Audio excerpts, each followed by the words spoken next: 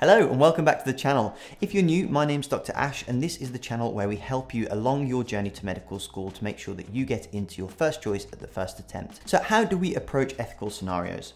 What I want to introduce to you is something called the four pillars. Now you may have heard of this and think that it's maybe some sort of legal thing or known thing in the medical world, but actually all it is is a framework for how to approach medical scenarios. So I don't want you to think of it anything beyond just a list of things that you need to think about when you think of something from an ethical point of view. So we'll go through the four pillars now and I'll explain a little bit around each. The first is autonomy.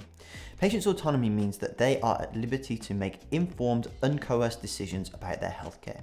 It means that they have the right to make decisions about their life and their care and we must respect that. However, not every patient has the autonomy to make decisions about their care, and this is usually related to issues surrounding capacity.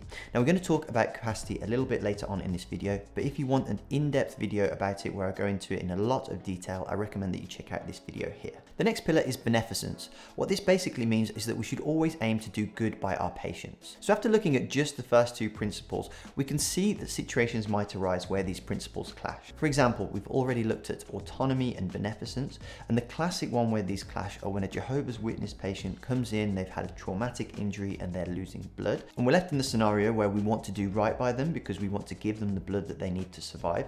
But at the same time, their principles and their right to choose says that they don't want the red blood cells. So there we have a clashing situation and that is a classic medical ethical scenario that comes up. So after this video where I've talked about how you can tackle any medical ethics scenario, I'm going to actually release some scenarios and we're going to talk through them and go through my four-step procedure procedure for exactly how you should handle them. The third pillar of medical ethics is something called non-maleficence, and that essentially means do no harm. However, it's almost impossible to do zero harm to patients. Any tablet that you prescribe has the potential for side effects. Even things like taking blood, they do hurt, but on balance they offer a net benefit to the patient.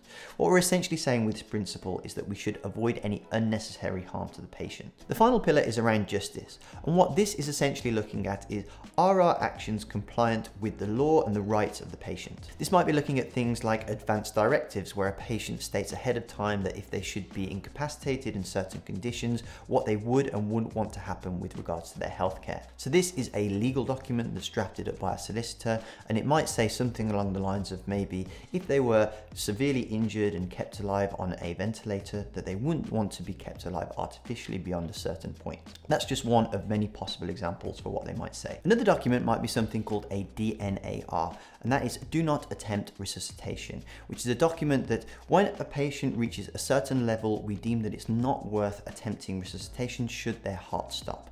I'm actually going to talk about it in another video that will appear here in a few days where I talk about this in a lot more depth. One question I get asked all the time is what do you do if the patient is unconscious with regards to advanced directives or their autonomy or their justice? Well, in that circumstance, the doctor has a right to act under what they call the best interests of the patient. The other element of justice is asking whether our treatment is fair and balanced based on a societal perspective. So let's say, for example, a patient has abused their body and needs an incredibly expensive treatment.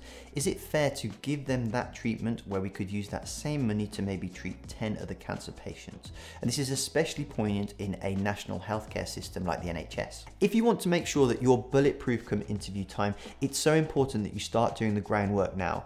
The best way to do that is to get as much exposure as you can to all the kinds of things that might come up at interview so that you've mentally prepared and you've at least addressed it once in your mind so that you don't get fazed. The best way to do that is by checking out this playlist here where we've done some in-depth long form workshops to go through all the stuff that might come up as well as some essential videos in that playlist that's going to tell you some of the key information. The other one that I'd recommend is my essentials playlist which gives a quick summary of everything, the first video of which is here. That will really help set you in a good way and summarize everything at the start so that you can kind of get an idea of what's to come and then then at the end to give you a quick refresher just before you go to interviews. So thanks for watching and I'll see you over in those videos.